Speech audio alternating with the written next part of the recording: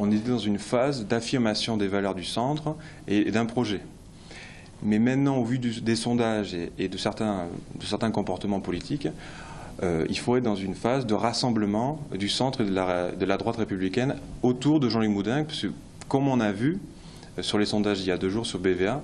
euh, il est à 37%. Donc c'est quand même le candidat qui a une dynamique la plus, la, plus intéressante pour que la droite gagne, parce qu'il ne faut jamais oublier que notre adversaire, c'est Pierre Cohen, et, ce n'est pas Jean-Luc Moutingue. Jean-Luc Moutingue, c'est un concurrent et un allié potentiel euh, au centre. L'UDI, c'est quand même un, conglomérat de partis, et tous les, partis de l'UDI euh, ont rejoint euh, Jean-Luc Moudin, officiellement. L'Alliance centriste, euh, je vous dis le parti radical, une partie du Parti radical par la voix de Châtillon et par, Jean-Jacques Bolzan, et vous verrez demain pour le grand meeting de